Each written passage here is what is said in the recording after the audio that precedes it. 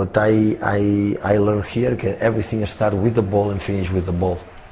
So sometimes we forget that this, this is a game 11-11 with one ball.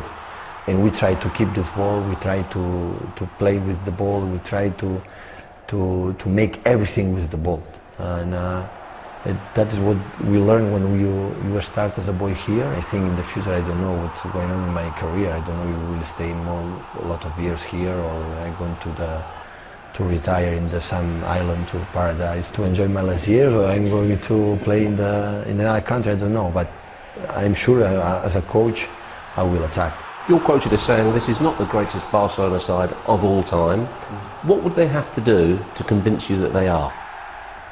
because it's so difficult because right now okay you have some image about this team about how they play but now it's fresh now it's clear but we don't remember Milan Sacchi or or remember the Liverpool, the best, the best, uh, the the 17th, or Manchester, or Madrid, the Stefan, the 50th, 60th, or the Cruyff in the the Ajax Amsterdam.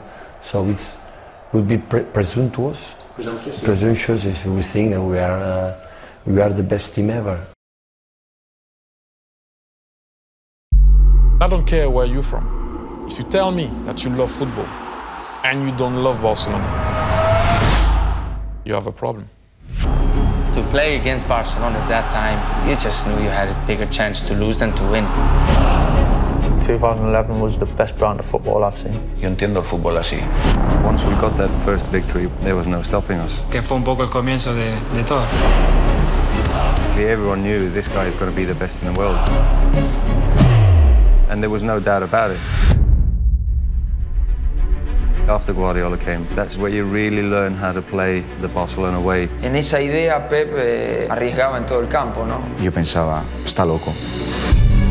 Y viene desde hace mucho tiempo, de la época de Cruyff, que creo que es una filosofía distinta. No es fácil eh, enganchar la filosofía del Barcelona. Solo con la noticia de que Guardiola va a entrenar al primer equipo, yo ya estoy sintiendo algo de que vamos a ir bien. Él fue innovador en una forma de jugar Take the ball, pass the ball, take the ball, pass the ball. Con unas fichas que tenían un talento especial. Él las supo poner en ciertos momentos.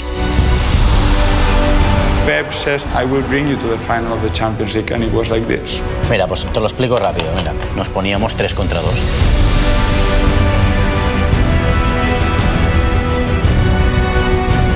Estaba apretando tanto Mourinho, tanto, tanto, tanto. Ya incluso la gente del entorno barcelonista ya pedía algún, algo más a Guardiola. Eh, Era piel de gallina. It's the result of how we play. It's how we play, and then the results will come.